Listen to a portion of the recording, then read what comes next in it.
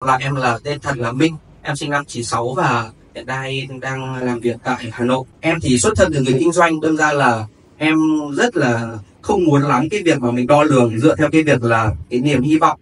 Tức là hôm nay tôi có một lượng khách hàng như này và tôi hy vọng, kỳ vọng rằng 6 tháng sau, một năm sau, tôi sẽ được một khoản x2 x3 thì điều đấy em thấy là khá là rủi ro. Và em lại thích cái tư duy là làm thế nào để hôm nay tôi chạy một đồng? Và tôi chắc chắn rằng tôi biết là tôi lãi không phải một đồng hay lãi không phải năm hay lãi một hai đồng.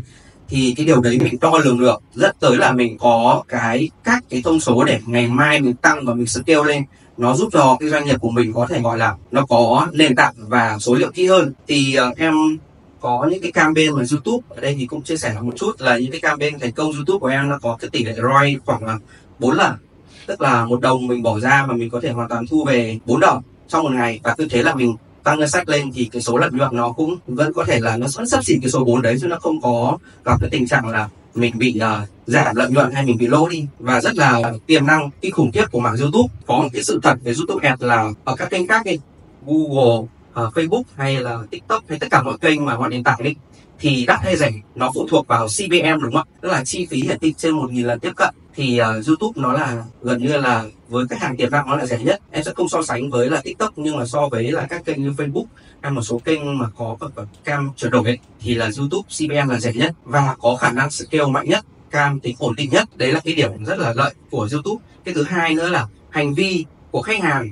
khi mà mua một sản phẩm thì uh, gần như là khi mà xem một video dài hoặc là xem một số video cỡ trung bình đâu ở YouTube ấy, thì cái tỷ lệ chuyển đổi của nó phải đến khoảng 50, 60, 70 thậm chí là 80 phần trăm là khách hàng sẽ mua hàng. Tức là ở đấy có khách hàng tiềm năng và khi một video YouTube ấy mình có thể chặn hết các điểm. Thứ nhất là điểm của biết thích tin yêu ai cũng biết cái cái cái công thức này rồi đúng không? Thì uh, một cái video YouTube nó có thể chuyển đổi khách hàng lại sang khách hàng mua hàng chỉ trong một thời gian gọi là xem hết video thôi. Tức là một campaign có thể giúp mình từ khách hàng lại chuyển ra khách hàng mua hàng. Có cái tính chất nhanh như vậy cái thuật toán phân phối của YouTube Ads nó khác hoàn toàn với các thuật toán của Facebook hay là Google uh, Google Search. Nó khác rất nhiều. Tức là ở đó nếu ai đã từng chặn can YouTube chuyển đổi ấy mọi người đều để ý thấy là họ có cho target. Thứ nhất là target thẳng vào keyword này target vào tìm những người quan tâm thẳng vào một cái kênh nào đấy này hay là target vào cái việc là gọi là sở thích hành vi ấy.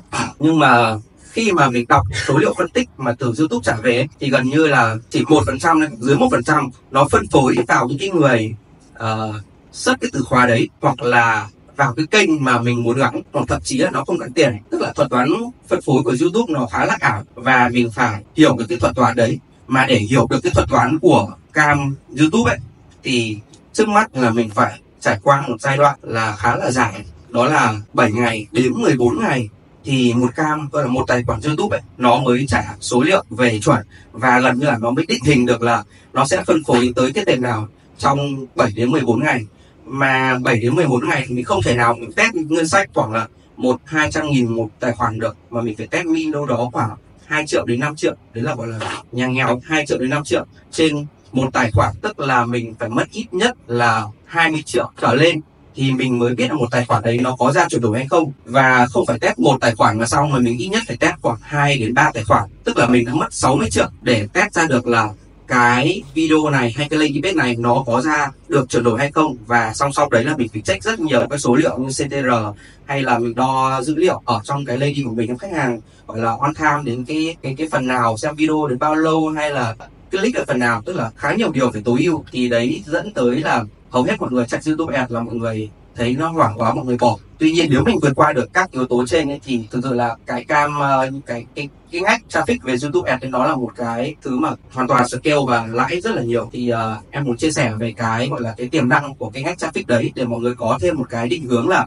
không chỉ cái cam search hay không chỉ uh, những cái thứ mọi người đang làm như hiện tại mà còn rất nhiều cách để triển khai traffic khác thì mọi người cứ tìm xem là mình hợp với cái điều nào để mình gọi là đào sâu và phát triển nhiều hơn hoặc là ai mà muốn chạy những cái cam youtube này thêm thì có thể là trao đổi thêm em anh em mình cùng chia sẻ thêm một cái cách làm hay những cái video như nào cho hay. Cảm ơn anh em.